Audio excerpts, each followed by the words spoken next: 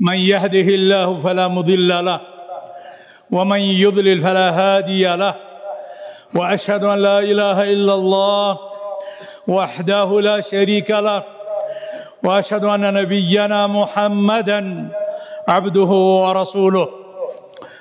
يا أيها الذين آمنوا اتقوا الله حق تقاته ولا تموتن إلا وأنتم مسلمون.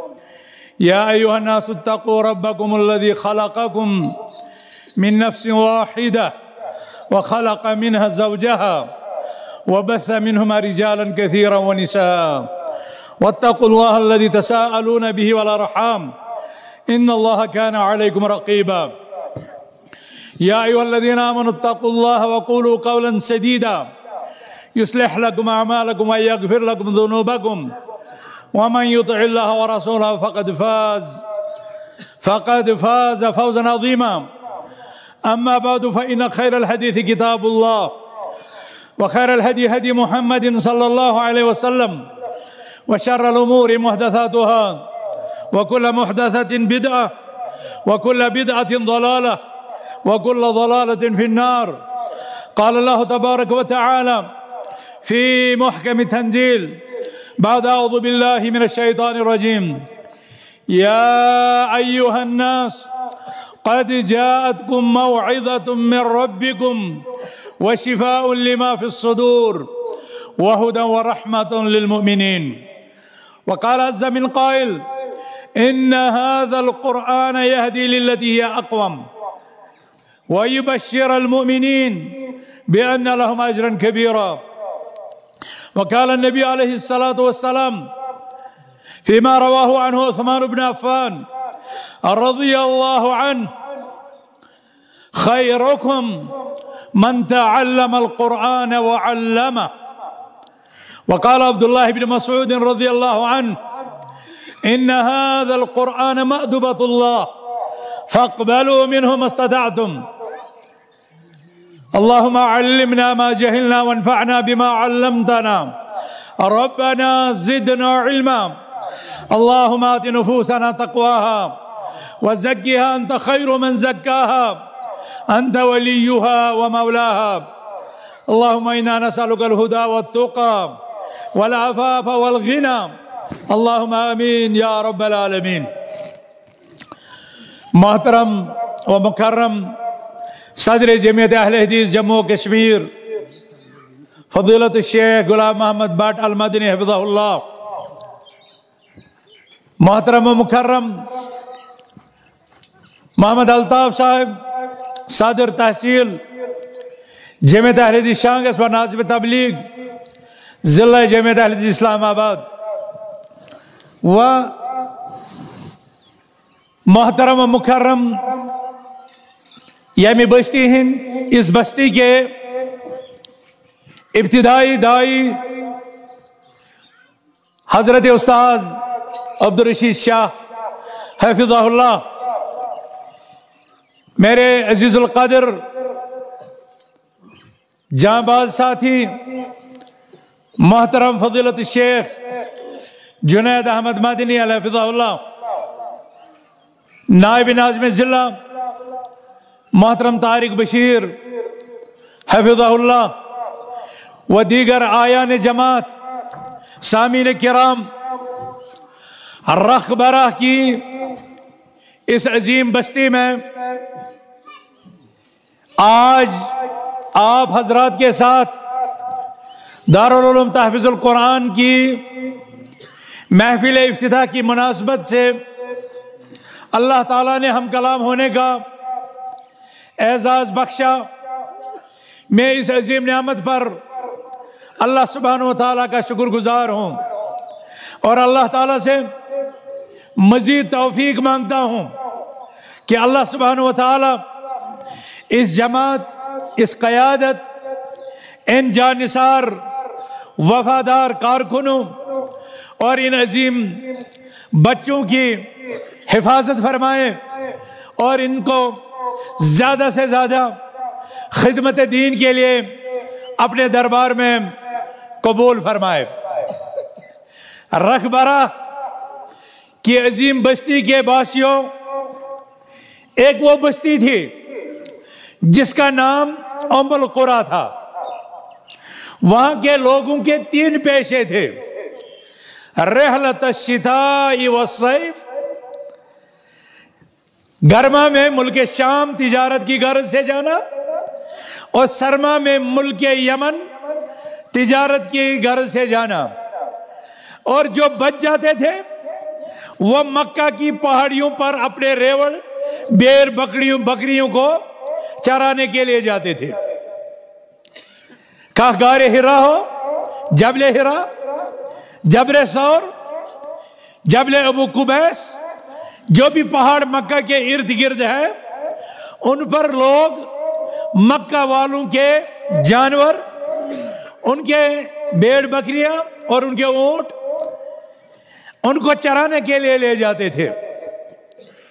اقوام عالم میں ان لوگوں کو روعات الاغنام یا روعات الابل کہا جاتا تھا۔ اونٹوں کے چرواہے یا بیڑ بکریوں کے چرواہے۔ لیکن اللہ سبحانہ و تعالیٰ نے اس عظیم قوم کے قسمت میں یہ رکھا تھا کہ جو کل تک جانوروں کے ریوڑوں کو چرواتے ہیں، آج وہی اقوام عالم کے چرواہے اقوام عالم کے ہادی، اقوام عالم کے رہبر بنے۔ وہ کیا چیز تھی؟ جس نے مکہ کے ریوڑوں کو پالنے، پوسنے والوں کو اقوام عالم کا فاتح، رہبر اور رہنما بنا دیا۔ یہ وہ عظیم کلام تھا جو اسی مکہ کی ایک پہاڑی پر حضرت جبریل علیہ السلام کے ذریعے حضرت محمد رسول اللہ صلی اللہ علیہ وسلم کو ایک روز حاصل ہوئی۔ اعوذ باللہ من الشیطان الرجیم۔ بسم اللہ الرحمن الرحیم۔ اقرا بسم ربک الذي خلق۔ خلق الانسان من علق۔ اقرا وربك الاکرم۔ الذي علم بالقلم۔ علم الانسان ما لم يعلم پانچ آیتیں جن سے دنیا کی کایا پلٹ گئی۔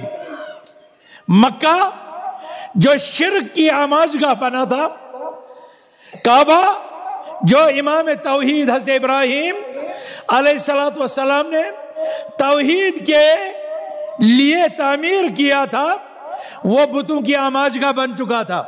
سینکڑوں بت اس میں رکھے تھے۔ مکہ، ظالم، مظلوم کا حق مارتا تھا۔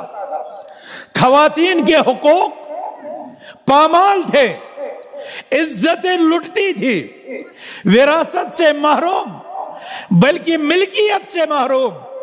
شراب عام اور ہر بے حیائی اور ہر بد کرداری اس قوم میں رچ بس گئی تھی۔ ایسے میں اللہ سبحانہ و تعالی نے اس قوم کو نسخہ ہدایت، نسخہ شفا نسخہ رحمت، نسخہ برکت۔ قرآن کریم کی شکل میں اقرب بسم ربک الذی، سے اس کا آغاز فرمایا۔ اس کتاب کا نزول ہوا، جس کتاب کے متعلق اللہ تعالیٰ نے انسانوں سے مخاطب ہو کر کے کہا، یا ایوہ الناس، اے لوگوں اے مسلمانوں نہیں کہا، اے مومنوں نہیں کہا۔ بلکہ اے لوگوں اور وہ مکہ کے لوگ ہی تھے۔ کوئی شرک پر تھا، کوئی گمراہی پر تھا، کوئی ظلم پر تھا، کوئی لوٹ مار پر تھا، کوئی چھینا جپٹی پر تھا، کوئی عزتوں کا ڈاکہ ڈالتا تھا، کوئی مال کا ڈاکہ ڈالتا تھا، کوئی جان کے در پہ تھا، کوئی کسی اور گناہ میں پھنسا ہوا تھا۔ ایسے میں اللہ سبحانہ و تعالی نے وہ کلام نازل کیا جس میں انسانیت کے لیے نصیحت، واز، پند و نسایہ درس و عبرت، رحمت و شفا کا سامان موجود تھا۔ یا ایوہ الناس، اے لوگوں قد جاءتکم، یقیناً تمہارے پاس آ چکا۔ موعظتم من ربکم، تمہارے رب کی طرف سے واض و نصیحت والی چیز عبرت والی چیز قرآن کی آیت موعظت من ربکم قرآن کی صورت موعظت من ربکم قرآن کا پارا موعظت من ربکم قرآن کے سات حزب موعظت من ربکم قرآن کے تیس پارا موعظت من ربکم یا ایوہ الذین آمنوا استعینوا بالصبر والصلاة موعظت من ربکم اور شراب انما الخمر والمیسر والانصاب الى آخر الآیہ موعظت من ربکم شراب، جوا، سب کچھ حرام کر دیا گیا. لوگوں یہ تمہارے لیے نصیحت ہے. لوگوں کو چوری کا حکم اور چوروں کی حد بتا دی گئی. والسارق والسارقة. فاقطعوا ايديهما جزاء بما كسبا. نكالا من اللہ چور مرد ہو، چور عورت ہو، اس کا ہاتھ کاٹنے کی. چوری کے جرم میں اسلامی حدود اور اسلامی حکومت میں یہ سزا ہے. آپ لوگ اپنے گاؤں میں نافذ مت کر دینا. کیونکہ اس کے لیے اسلامی نظام اور اسلامی حکومت ضرورت ہے. ہم جس دھرتی پہ رہ رہے ہیں، ہمیں یہ آیتیں پڑھنی ہے ان سے نصیحتیں لینی ہے اور اس سے یہ پیغام لینا ہے کہ ہمیں چوری نہیں کرنی۔ ہمیں ڈاکہ نہیں ڈالنا۔ ہمیں عزتوں کا رکھوالا بننا ہے۔ ہمیں عزتوں کا لٹیرا نہیں بننا۔ ہمیں اپنے آس پڑوس میں بسنے والوں کے مال، جائیداد، باغات، سیبوں، اخروٹوں، بادام، دوسری چیزوں کا رکھوالا بننا ہے۔ ان کا لٹیرا نہیں بننا ہے۔ یا ایوہ الناس، قد جاءتکم موعظت من ربکم اے لوگو، تمہارے پاس، تمہارے رب کی طرف سے نصیحت کا سامان آ چکا ہے۔ وَشِفَاءٌ لِمَا فِي الصُّدُورِ۔ اور یہ قرآن ان تعلیمات پر مبنی ہے، جو تمہاری ان بیماریوں کا شافی اور کافی علاج ہے۔ شفا رب نے اس قرآن کو ہمارے اور آپ کے لیے شفا بتایا، شفا۔ علاج نہیں بتایا، دوا نہیں بتایا، بلکہ شفا بتایا دوا انسان علاج کے لیے لیتا ہے، لیکن دوا لیتے وقت علاج کا کام تو ہوتا ہے، لیکن شفا ملے گی، اس کی کوئی گارنٹی نہیں ہے۔ لیکن اس قرآن کی آیات و بینات میں ایسی تاثیر ہے کہ رب العالمین نے تمہارے سینوں کے امراض کے لیے اس قرآن کو شفا بنایا۔ وَهُدًا وَرَحْمَةٌ لِلْمُؤْمِنِينَ۔ اے لوگوں اس قرآن میں لوگوں کے لیے ہدایت کا سامان ہے۔ آپ لوگوں کو راہ چاہیے۔ آپ لوگوں کو راستہ چاہیے۔ اور وہ راستہ یہ کتاب بتائے گی۔ اس کتاب نے بتلایا، دن میں سترہ سے زیادہ دفعہ پڑھو۔ اہ دینا پڑھتے ہو نا؟ کیا پڑھتے ہو؟ ذرا پڑھو سارے۔ اہ دینا سیروات المستقیم۔ کیا کہتے ہو اپنے رب سے؟ اے اللہ، ہمیں سیدھی راہ دکھلا۔ اور پھر اس سیدھی راہ کی وضاحت کیا یہ رخبرہ سے لی جائے گی؟ کیا یہ اشمقام سے لی جائے گی؟ کیا یہ سری نگر سے لی جائے گی؟ کیا یہ بغداد سے لی جائے گی؟ کیا یہ پٹھانوں سے لی جائے گی؟ کیا یہ کابل سے لی جائے گی؟ کیا یہ بخارا سے لی جائے گی؟ کیا یہ افریقہ سے لی جائے گی؟ نہیں، جس راہ کی آپ اپنے رب سے توفیق مانگ رہے ہیں جس راہ کی آپ اللہ سے توفیق مانگ رہے ہیں۔ وہ ہے وہ راہ سراط الذین انعمت علیہم۔ سراط الذین انعمت علیہم، ان لوگوں کا راستہ جن پر اے ہمارے رب، تو نے انعام اپنا نازل کیا۔ جن پر آپ نے اپنا انعام نازل کیا۔ میں آپ سے پوچھنا چاہتا ہوں رخبرہ والوں سے۔ اللہ نے کن لوگوں پر انعام کیا؟ ہے کوئی بزرگ نوجوان جو کھڑا ہو کر کے ان خوش نصیبوں کا، ان صالح بختوں کا، ان نیک سیرت افراد کا مجھے بتائے کہ جن کی راہ پر چلنے کی ہم بار بار اور ہر نماز میں اللہ سے کہتے ہیں اہدنا الصراط المستقیم۔ اے اللہ، ہمیں سیدھی راہ دکھلا۔ صراط اللہ دین انعمت علیہم۔ ان لوگوں کی راہ جن پر اے مولا تو نے اپنا انعام کیا ہے۔ کون ہے وہ خوش نصیب؟ کہاں سے ہمیں پتا چلے گا؟ وہ خوش نصیب کون ہے؟ جن کی راہ ہم ڈھونڈ رہے ہیں۔ جن کا راستہ ہم چاہ رہے ہیں۔ جن کے راستے کی راہ بری ہمیں اپنی اس نئی نسل کو اس نئی پود کو کرنی ہے۔ کون ہے وہ خوش نصیب؟ کون بتائے گا؟ کون جوان بتائے گا؟ ماشاء اللہ کیا بتایا اس نے؟ اسے عربی پڑھا۔ مجھے نہیں پتا۔ مجھے آپ گجری زبان میں یا کسی اردو میں بتاؤ۔ کون ہے وہ لوگ؟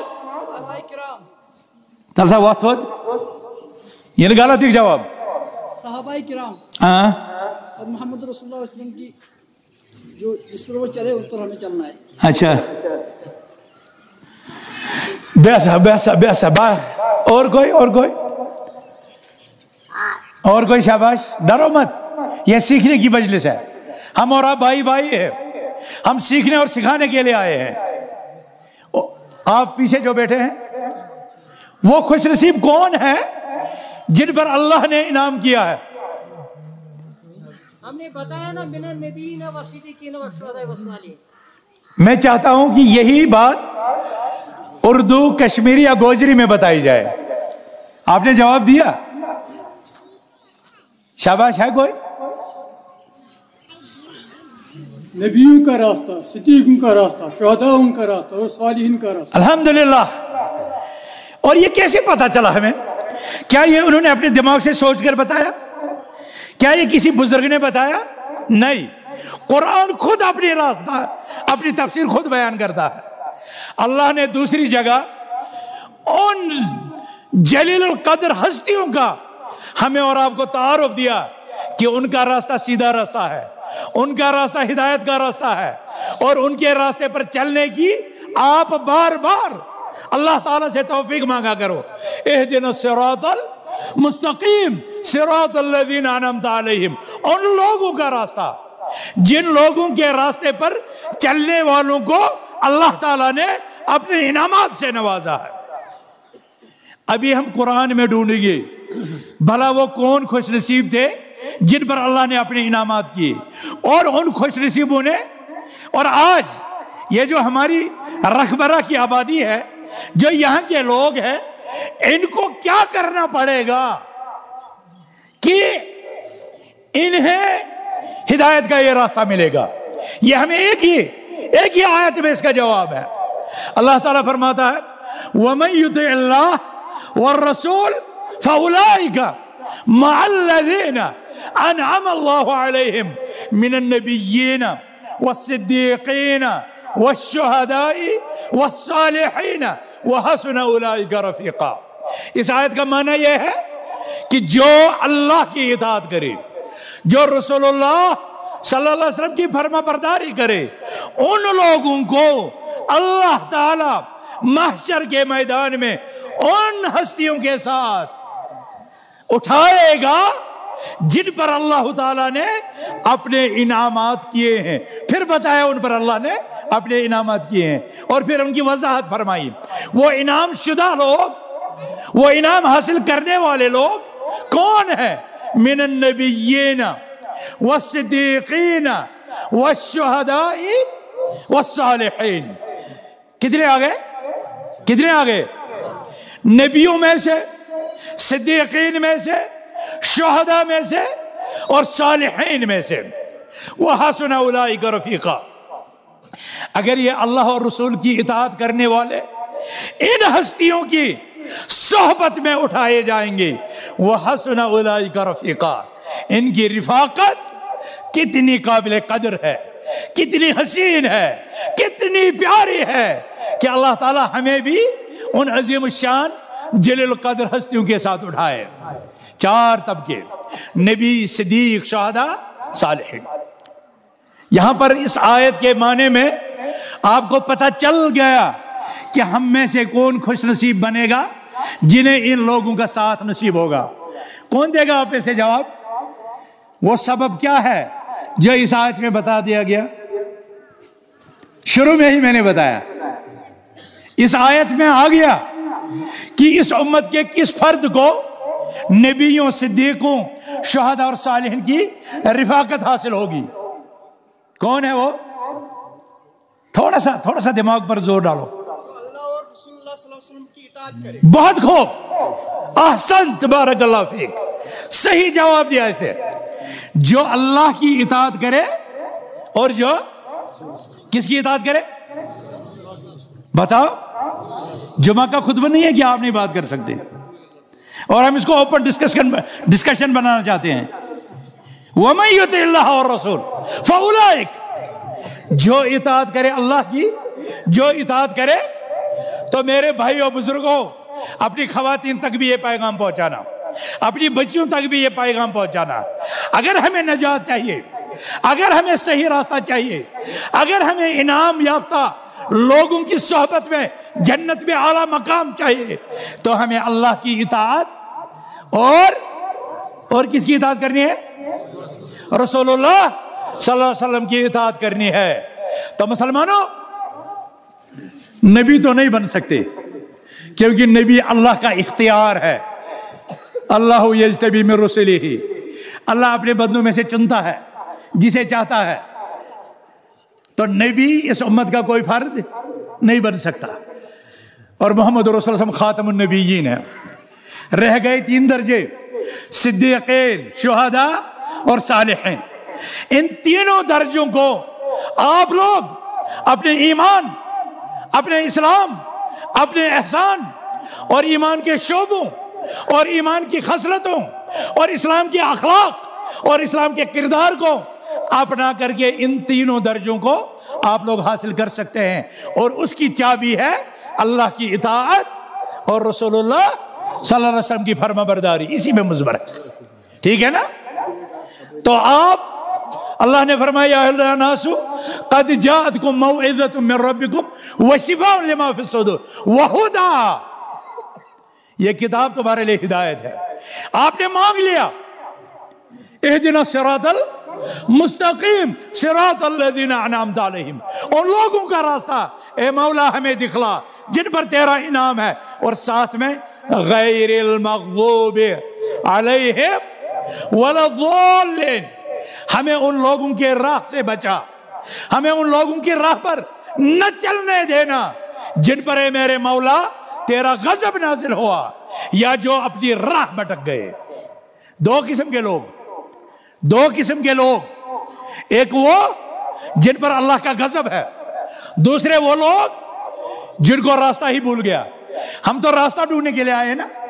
ہم تو اللہ کو کہتے ہیں نا، یہ دن سرات المستقیم۔ ہمیں سیدھی راہ دکھا۔ اس کا مطلب ہے انسانی تاریخ میں۔ ایسی امتیں گزری ہے جو دو قسم کی تھی۔ ایک وہ تھی جنہیں سیدھی راہ کا علم تھا۔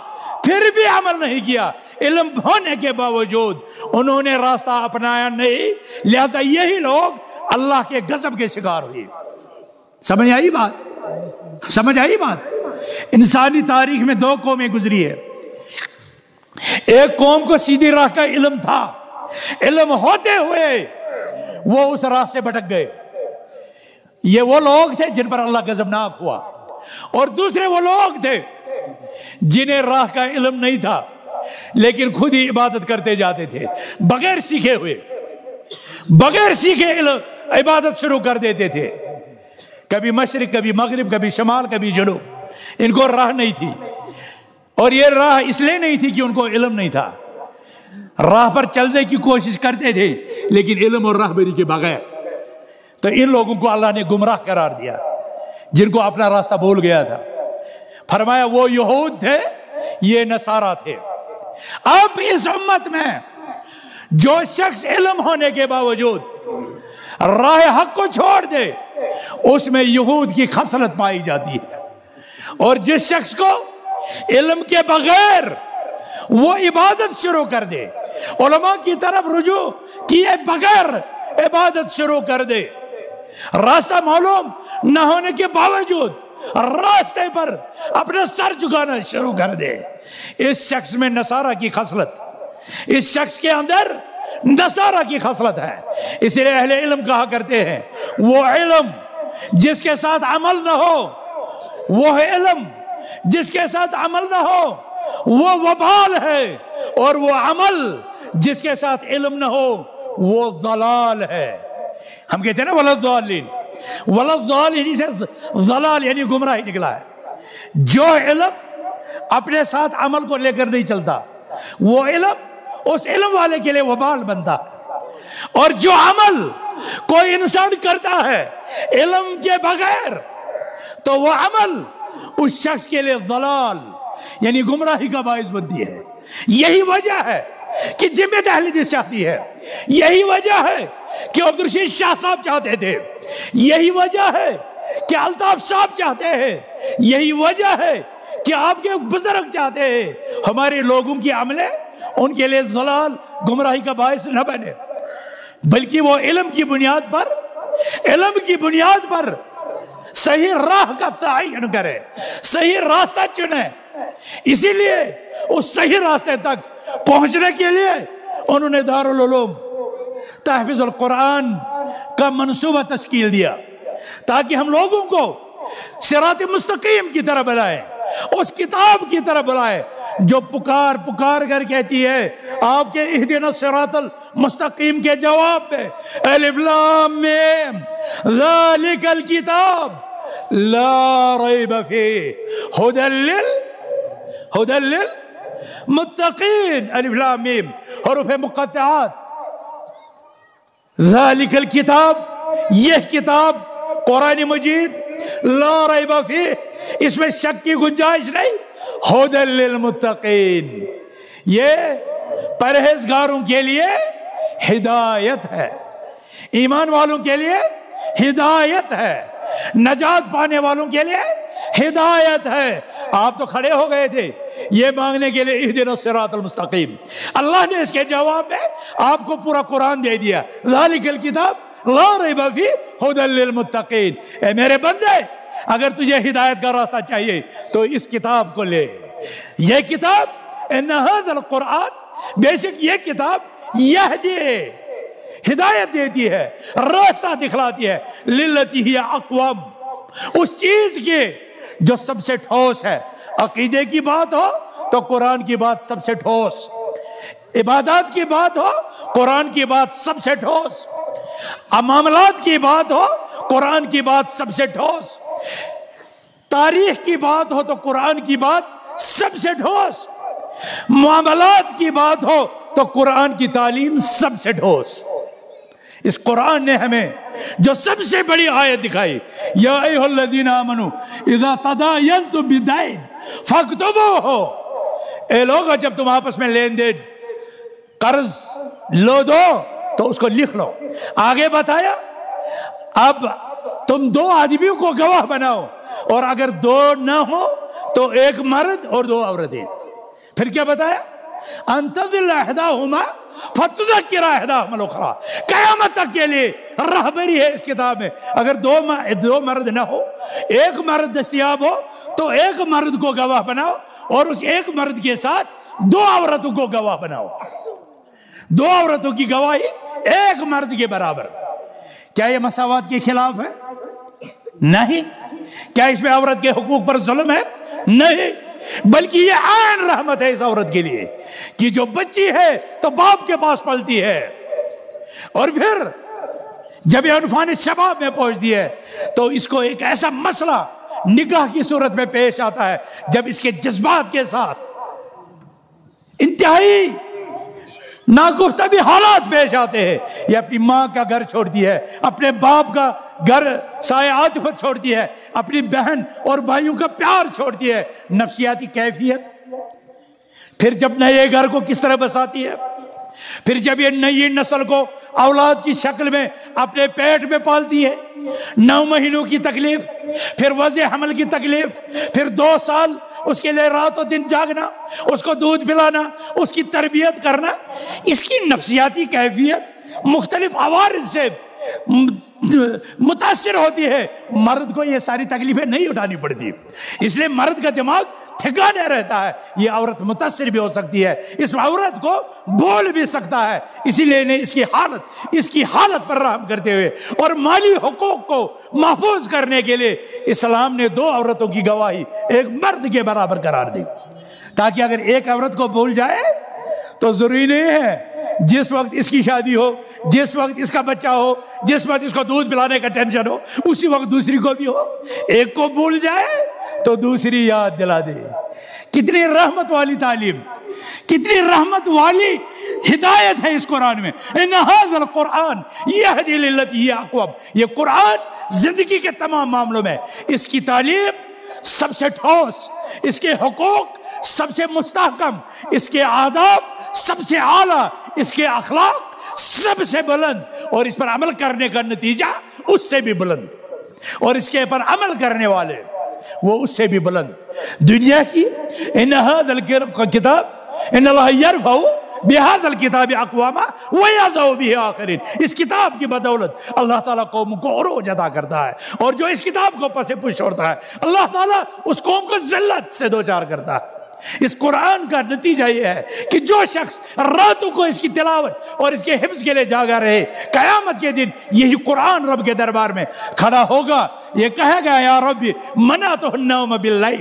اے میرے رب میں نے اس قاری قرآن کو، میں نے اس حافظ قرآن کو، میں نے اس قرآن کی تلاوت کرنے والے کو راتوں کو جگائے رکھا۔ اللہم فشفینے بھی۔ اے میرے مولا، اس قاری، اس تلاوت کرنے والے کے لیے میری شفاعت قبول کر دے۔ اللہ اس کی شفاعت قبول کرے گا۔ ورنہ میرے بھائیو بزرگوں اور جو عمر کے ایک اس پڑاؤ پر پہنچ چکے ہیں، ان سے بھی خاص طور پر کہوں گا۔ اس قیامت میں جب جب ایسا ماحول پیش آئے گا، یقال لقاری القرآن یوم القیامہ۔ اس قاری قرآن سے قیامت کے دن کہا جائے گا اقرا ورتق ورتل فین منزلتک عند آخر آیت کنت ترتلها۔ قرآن پڑھتا جا، ترتیل کے ساتھ پڑھتا جا اور جنت میں اپنے مقامات، اپنے اونچے درجات طے کرتا جا۔ ہر انسان کا درجہ جنت میں وہی اونچائی متعین ہوگی۔ جتنا زیادہ قرآن اس نے اس جہاں میں پڑا ہوگا۔ لہذا قرآن کے ساتھ اپنا رشتہ مضبوط کرو۔ صبح کے وقت، سوتے وقت، مارکیٹ نکلتے وقت، زمین نکلتے وقت، اس قرآن کو اپنی زبان پر رکھو۔ ان القرآن، یہ جو قرآن ہے، یہ اللہ کا دسترخوان ہے۔ ان القرآن مادوبت اللہ، یہ اللہ کا دسترخوان ہے۔ بقال عبداللہ بن مسعود فقبلو من ہو مستطا تم جب دسترخوان پر بیٹھتے ہو، تو کوئی چیز وہاں چھوڑتے ہو؟ پیٹ میں گنجائش نہ رہے تو پھر لفافہ۔ پھر لفافہ۔ ہاں؟ اب گھر والوں کے لیے بھی چاہیے، بچوں کے لیے بھی چاہیے۔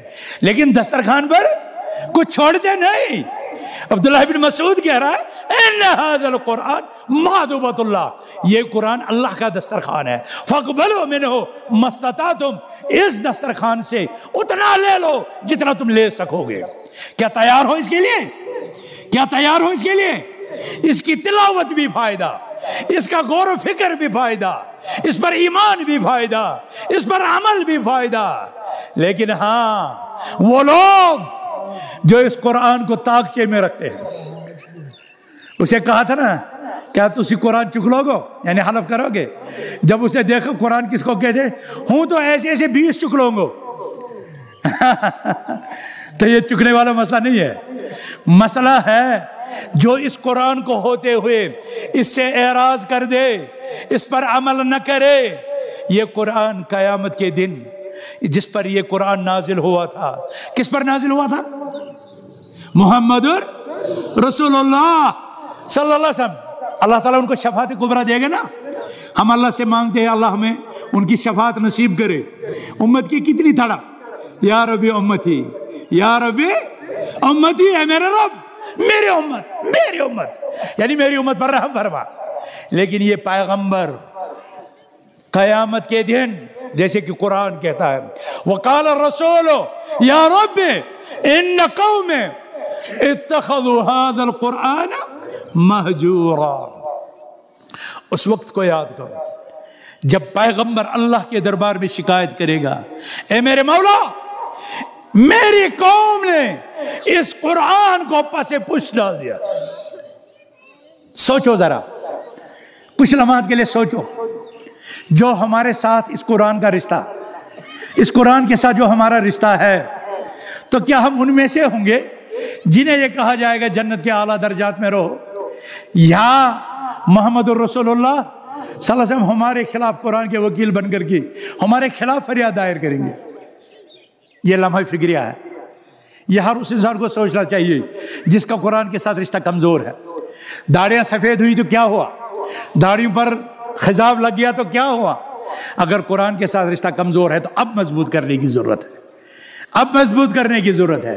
مسلمان کے لیے یہ سب، یہ سودا تب تک نفع بخش ہے جب تک نہ وہ اس کتاب کی طرف موت آنے کے لمحے سے پہلے پہلے رجوع کر لے۔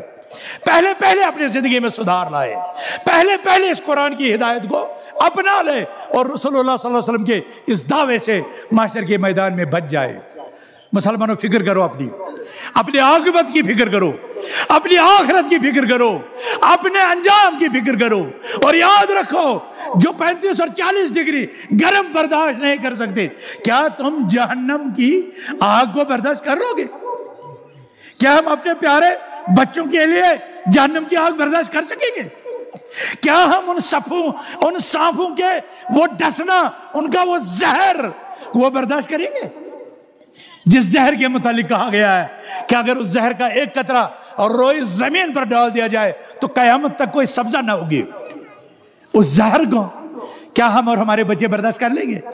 اگر نہیں برداشت کر لیں گے تو یہ دار العمل جو اللہ نے آج ہمیں دیا ہے جمع جس کی وساطت سے، جو آج یہ عظیم تبلیغی اجتماع، یہ مجلس افتتاح دار العلوم تحفظ القرآن، مبارک ہے علماء، مبارک ہے جماعت، مبارک ہے رقبر حکیم باشندوں، مبارک ہے یہاں کے بزرگوں، نوجوانوں، عزیز بچوں رقبرہ کی خواتین، کسی نے زیور دیا، کسی نے روپیہ دیا، کسی صاحب نے ابھی بتایا گیا، اس نے تو زمین ہی وقف کر دی۔ زمین ہی وقف کر دی۔ ان لوگوں نے اپنے حصے کا کام کیا۔ ان لوگوں نے اپنے حصے کی قربانیاں دے دی۔ اب اس دارالعلوم کو دوسری منزل بنانی ہے۔ اب اس کو خوبصورت بنانا ہے۔ لوگ کیمسٹری، زالوجی اور فزکس کے کلاس رومز کو سجاتے ہیں۔ بچوں کو اس کے ٹیوشن کے لیے چالیس چالیس ہزار ٹیوشن سینٹروں میں دیتے ہیں۔ اور ہمارے رب کا کلام، قرآن کریم کیا اس کے لیے ہم اپنی ایک بھینس، ایک گائے، ایک بھیڑ، ایک بکری، ایک باغ، ایک کھیت، ایک مرلہ، آدھا کنال، ایک کنال نہیں دے سکتے۔ کیا ہے ہمارا ایمان؟ اور کس ڈگر کا ہے ہمارا ایمان؟ جب یہ ہمارا ہے، یہ ایمان ہمارے سینوں میں آنے والے نسلوں کے لیے جوش نہ مارے۔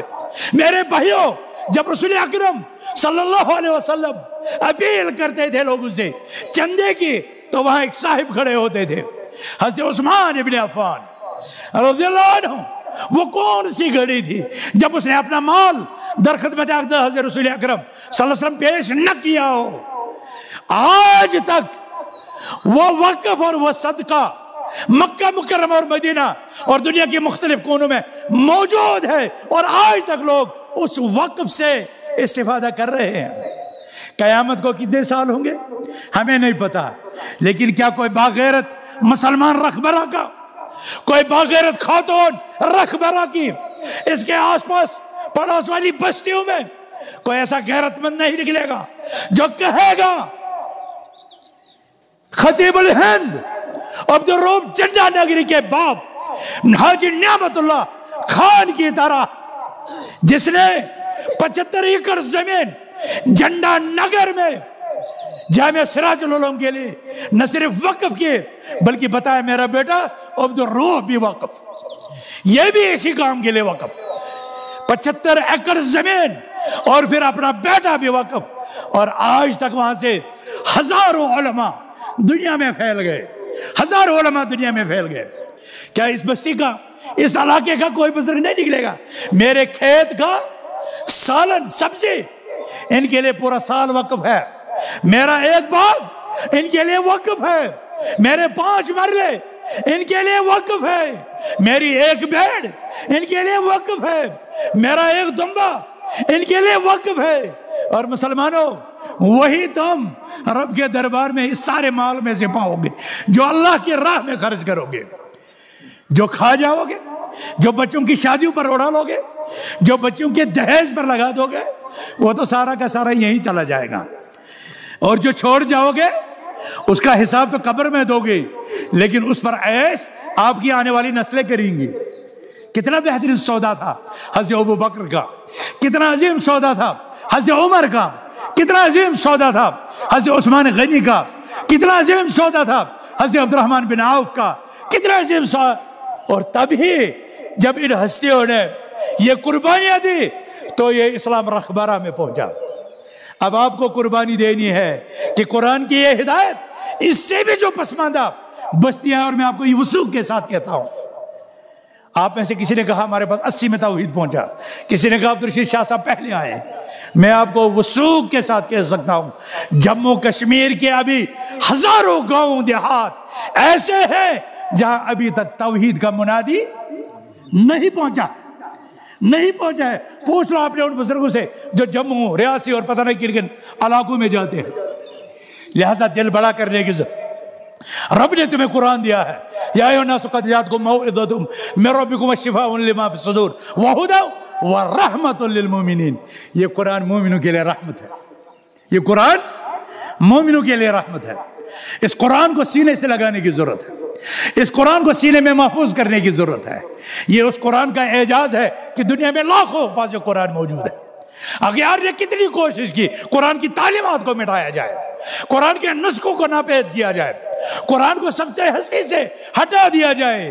مکہ والوں نے بھی کافی کوشش کر لی تھی، لیکن یہ اللہ کا کلام ہے۔ جس طرح اللہ ہر چیز پر غالب ہے، اسی طرح یہ کلام دنیا کے ہر گھر میں داخل ہو کر کے رہے گا۔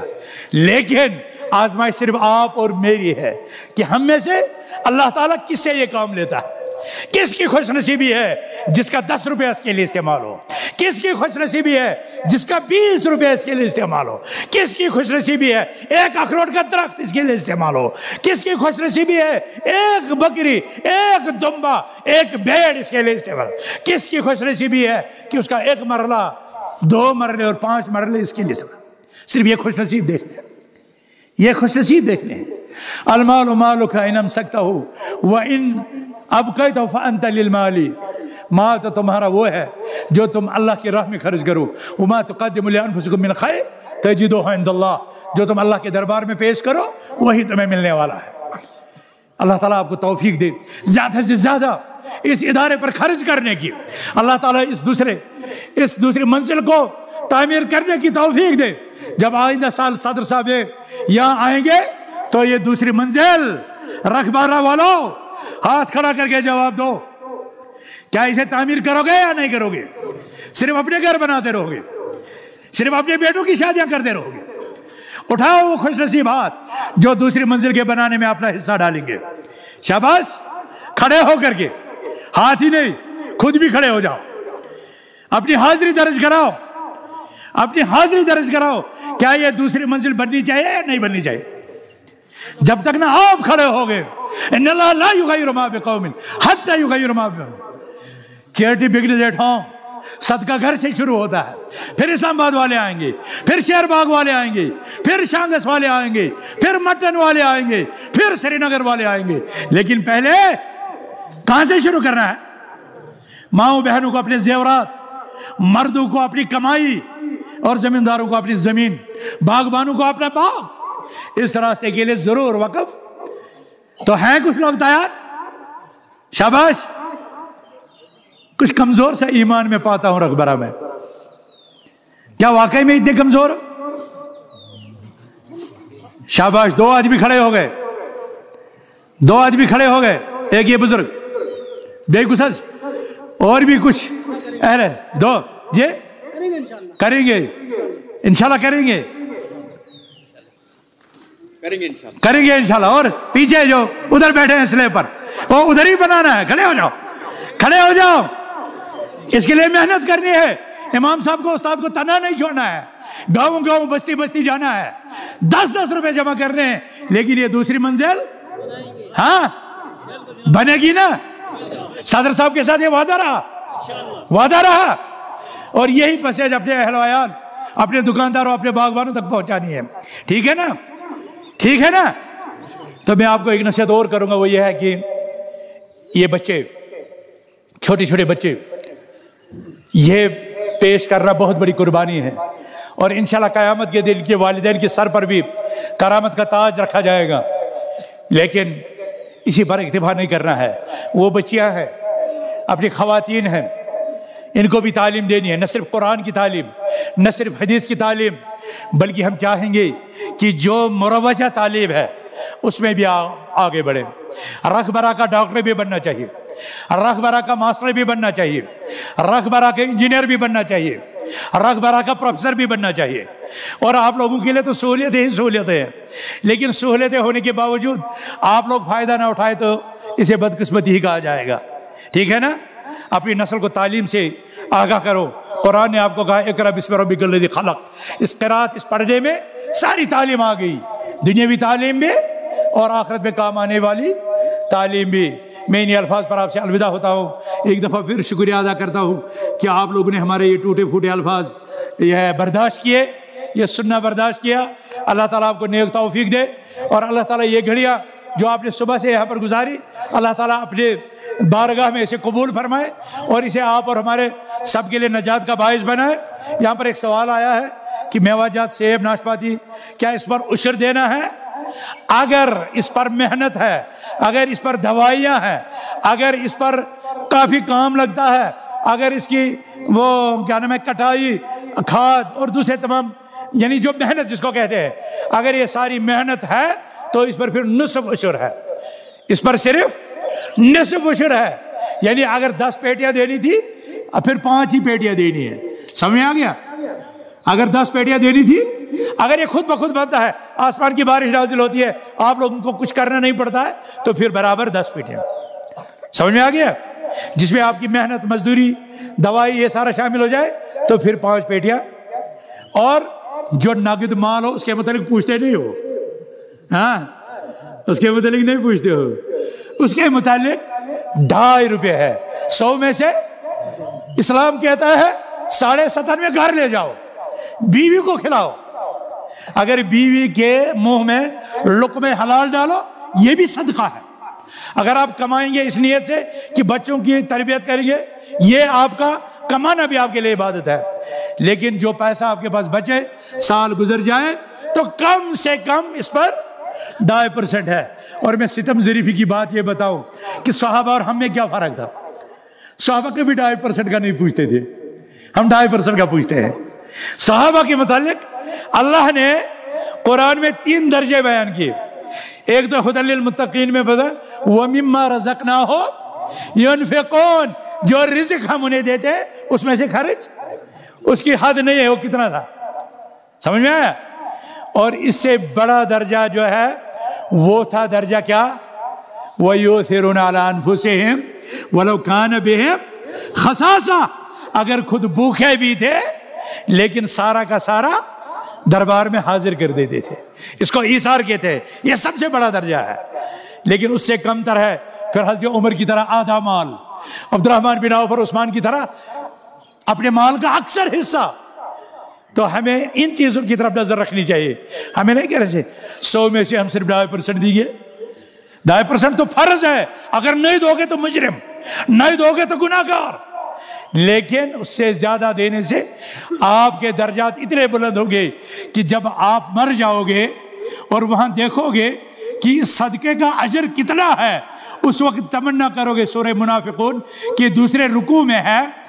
کہ اس وقت لوگ تمنا کریں گے، ایک کاش، ایک دفعہ پھر ہمیں دنیا میں بھیج دیا جاتا، لنصدقن۔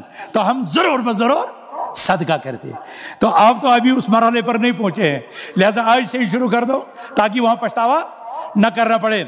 وہ صلی اللہ تبارک و تعالیٰ خیر خلق محمد و علیہ و صاحب اجمعین۔ السلام علیکم ورحمۃ اللہ وبرکاتہ۔